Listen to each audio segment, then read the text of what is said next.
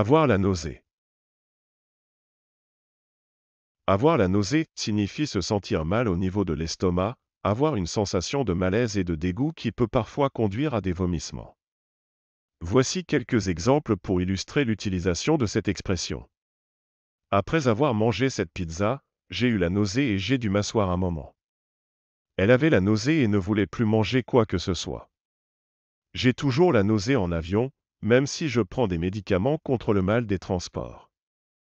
Après avoir bu trop d'alcool, il a passé la nuit à vomir à cause de la nausée.